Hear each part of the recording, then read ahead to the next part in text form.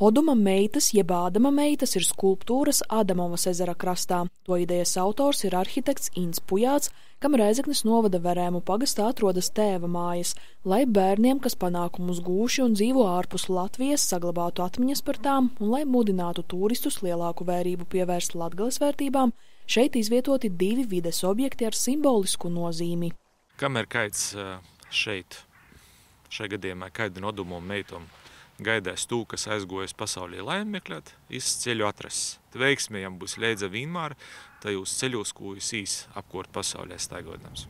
Simboliskā nozīme aizgūta no senas vietējās teikas. Katra skulptūra sver 4 tonnas, tās veidotas no egļu un priežu koka, un šovasar tapa sadarbībā ar koktēlnieku Juri Upenieku no Jelgavas, gan citiem radošajiem un tehniskajiem vietējiem palīgiem ar tehniku pīdeļājās, palīdzēja pacelt to bumbu, tāpēc, ka 5,5 metru augstumā netrepēm nekaidīgi netekam.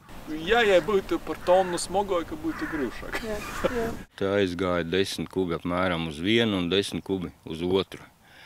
Ja viņa būtu pilna tā figūra, tad būtu divreiz vairāk materiāla, tad uz vienu aiziet 20 kubi. Seja rokas, plaukstas ir masīvā kokā. Vēl viena no iecerēm ir ar vides objektiem iedvesmot apkārtnes iedzīvotājus pārmaiņām un motivēt labiekārtot arī savus īpašumus. Tas ir viens no veidiem, kā cilvēki var identificēt to vietu, kur viņi dzīvo. Tīpaši krucifiksi, tīpaši pīna goldi, tīpaši ielas vorti, varbūt e, dzīvžogi, akmeņi.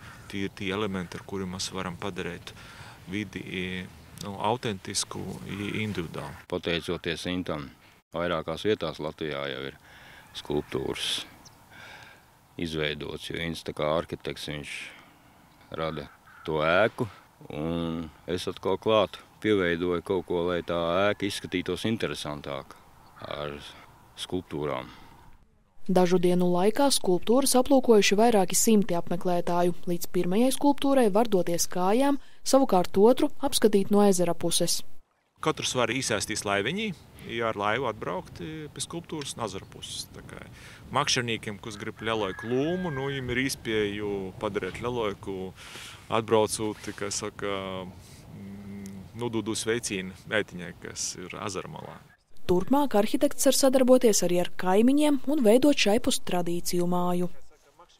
Ausmas Prukte Kozule, Vitālijas Duda Renoks, Latgals reģionālā televīzija.